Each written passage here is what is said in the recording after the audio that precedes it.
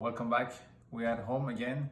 I know it's been a while and you guys probably have not celebrated a lot of things, birthdays and occasions to, uh, to eat a cake. And uh, my fiance who's filming today again has reminded me that I have never really baked a cake for her, even though we work together every single day.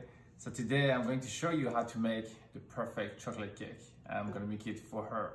Uh, perfect chocolate cake for every occasions with using only two recipes. The cake has a base and a ganache for the, the filling and for the frosting. And this is in your new book? This is my new cookbook, Everyone Can Bake. So I'm expecting it to look just like this. I will try.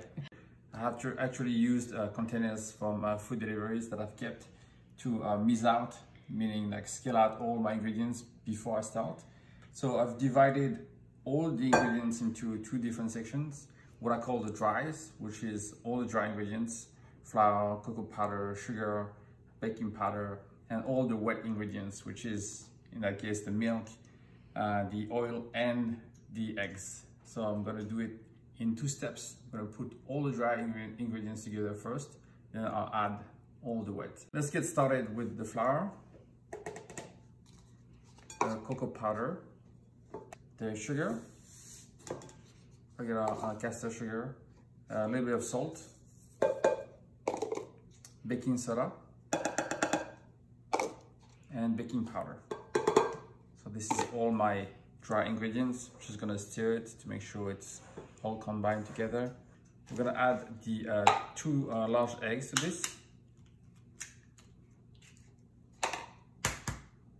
So when I crack the egg, I always do it on a flat surface and not on the side of the bowl. The reason why is that I want to make sure I don't break the shell inside the egg. And then it's going to end up in the mixing bowl if I do it on the side here. So it was on a flat surface, so the, the egg doesn't crack inside. I'm going to add uh, grapeseed oil. So the uh, oil will make keep the cake very, very moist. But people can just do like regular vegetable or canola or olive oil. Exactly. Any any other oil will also work. I like to use olive oil actually Um, and something not too spicy that has nice flavor. We're gonna add half of the milk. Keep on stirring it. I don't add all the liquid at once because I don't want everything to get lumpy. It's all coming together. And I'm gonna add the rest of the liquid right here. So you can see it's a fairly simple recipe. It only takes a minute or so to mix together. That's pretty much it. Everything is combined together. It's smooth. It's uh smells like chocolate. It looks delicious. Gonna use uh, my uh, my mold the mold that I love that I have at home uh, the cheesecake mold. It's a non-stick mold. I still put a little bit of butter and flour to make sure it doesn't stick. I'm gonna put my butter right in there. That's it. And you will see everything gets pretty smooth, pretty flat, very easily. I'm gonna put this in the oven at 350 degrees Fahrenheit. How long to wait? Uh, it's gonna take about 25 to 30 minutes. While my cake is baking, I'm going to do the ganache. Ganache is the filling for, for the cake, essentially cream and chocolate. I always use the 66% chocolate. Uh, this one is uh, nice and rich. Uh, the quality of the chocolate you use is very important. And then we have the cream and the milk which uh, this is the base that where you can infuse the flavor. So if you want to use uh, orange zest or lemon zest, you can do so. If you want to use vanilla, you, you can add it, add it there. If you want to use a little bit of uh, alcohol, a bit of rum, you can also do so in, uh, in the liquid. I'm gonna add a little bit of the liquid to the chocolate, about half of it. And I'm gonna let it, let the chocolate melt. So this step is very important. You don't want to add all your liquid at once. You want to add it little bit by little. The first half is really to melt the chocolate. And what we're trying to do here is actually to emulsify the liquid into the chocolate. And can you use something that is in milk? Can you use coconut milk or? You can use all different type of milk. Uh, if you want to use regular milk, almond milk, coconut milk will work very well with this recipe as well. Once my liquid is incorporated here, I'm gonna add the rest.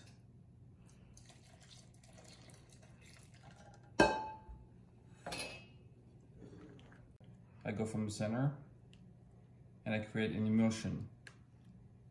As you can see, the texture, the color is changing in the center and it's spreading on the outside. And at the very end, we're gonna add a bit of butter uh, the butter is tempered, so it's room temperature. So don't add your butter too cold, otherwise you won't be able to emulsify the butter with the ganache. What does the butter do?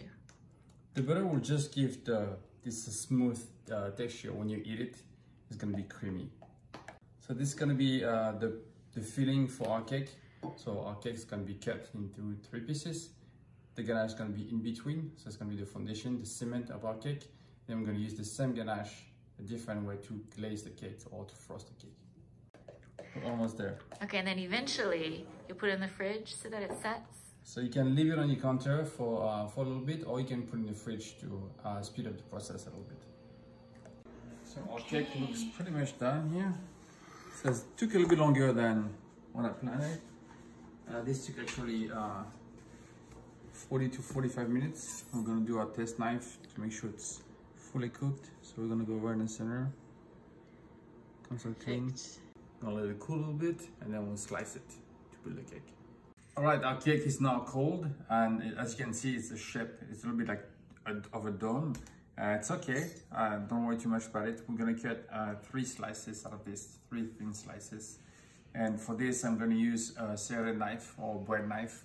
That's very important. And it has like these little, This little teeth, yes, to cut through the, the bread. So we're gonna start from the bottom. it's a cake. Gonna start from the bottom. you my comment. it's a cake. And we're gonna we're gonna try to aim for like about a quarter of an inch. We're gonna sew very gently. So I'm not trying to push the knife inside.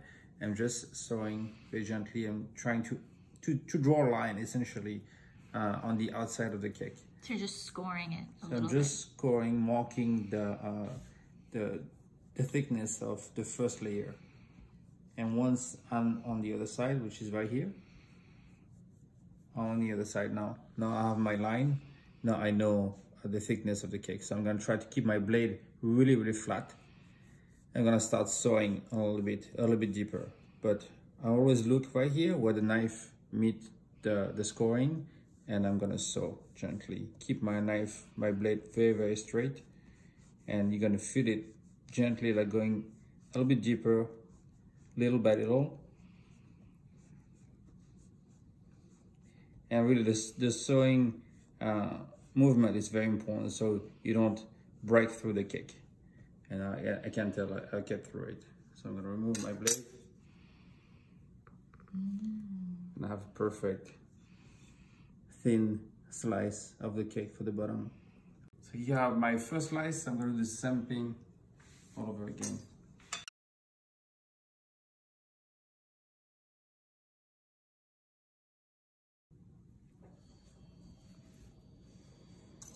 Beautiful.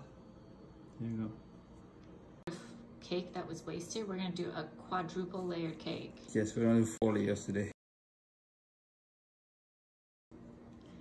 Okay, ready to assemble. We're ready to go with the ganache now. So we're gonna take the first layer of uh, the cake. We're gonna put it, I have a gold ball here, a cake board, and that will help me uh, move the cake around. And if you don't have a gold board, you can also use a plate. So I have my ganache right here. So the ganache have been, uh, has been going in and out of the fridge and I've been mixing it. So as you can see, it's like a very creamy, almost like toothpaste texture. So that's a very important texture to, to have. If it's too hard, it's gonna be very hard to build. If it's too soft, it's gonna be liquidy. So you want this creamy texture. And place. So you can slightly microwave it and whip it if it's too hard, If you it's think? too cold, you can microwave very, very gently, like very light. I'm gonna spread the ganache into the cake right here. So always go from the inside out. So we put about the same thickness of uh, uh, the cake. We're gonna go to the side. Scrape the excess right here. Gonna do the same thing uh, four times. And at this point, you can also add uh, stuff inside the cake. You can add uh, caramelized nuts or um, any, anything you, you like to, to add. Any chocolate, chocolate chips. That works very well as well with this cake. So that's the second layer.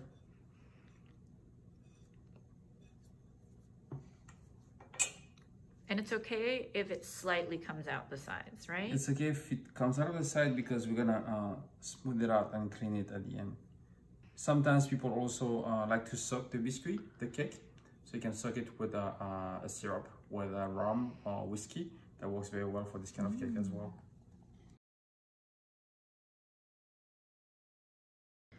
Beautiful. And then the last one, it doesn't matter which side is up, right? For the last piece of cake. It doesn't really uh, matter. You just uh, want to make sure that that was the bottom of the cake. So I'm going to put it in inside. You want it very, very flat. You want to make sure it's uh, leveled. I'm going to finish with a bit more ganache on top. So you can see this texture is like actually perfect to finish this cake. So you can just frost the whole cake? You can frost the whole cake right now. I'm pushing it to the side so we can actually add more ganache and cover the side of the cake. And now I'm going to pick that up. That's why it's good to have a, a cake board or plate. And I'm going to cover the side of the cake.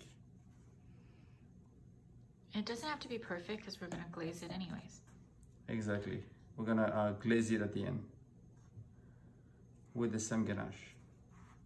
So we just want to cover the side of the cake right now. I, actually, one of the technique I've learned uh, in the kitchen when I first start working in the kitchen, actually you have to be able to hold the cake and spin it in one hand so that you can actually frost the cake. So with your left hand, you should be able to spin the cake you don't have to do this right away. It's actually a little bit technical. You don't want to drop the cake, but it's a, a good way for uh, being able to, to work with your two hands and still being able to spin the cake as you go. And so this is not a perfect icing. This is just the crumb coat, which keeps everything smooth so that you can do a much better finishing, right? Exactly. Okay, I'm gonna put it back now. Okay. All right, we've got our cake that I finished glazing. Here I have my uh, my uh, sheet tray with the plastic wrap and I put plastic wrap to actually make, to make it easier to collect the ganache at the end. I'm gonna have a glazing rack just over it. The same ganache that I use for the inside and uh, the outside actually melted in microwave just for 30 to 45 seconds. So that's warm, it's silky, shiny. And this I'm going to use to finish the, the cake and glaze it. So it's pretty cold right now. I'm going to use an offset spatula, which I highly recommend if you want to do this, this step.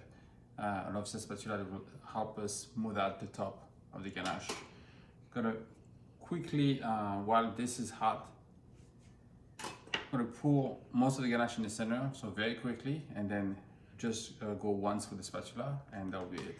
So you can't touch it too much. You can't touch it too much, so you, you pour, pour a lot of the ganache all at once, so it goes all the way on the side of the cake.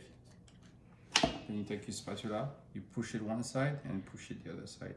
And that's it. Don't that's touch it. it. Don't touch it anymore. That should cover the entirety of the cake all around.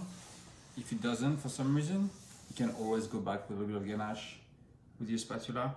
But right now it looks, looks perfect.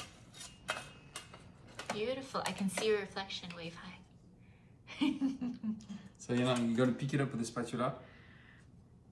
And the last little step, if the ganache drips, you just cut it with the, uh, the, the spatula.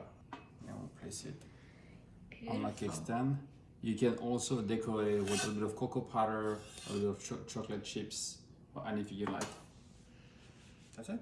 Little secret to how to cut perfect cake slices. So boiling water in a container I use a very thin blade. And you leave the blade in the water for like at least five, ten for seconds. like five to ten seconds. So it warms up. So everything is hot. You should get clean. Just wipe down the blade. Then I'm gonna pick it up. I'm gonna put it right here. Beautiful.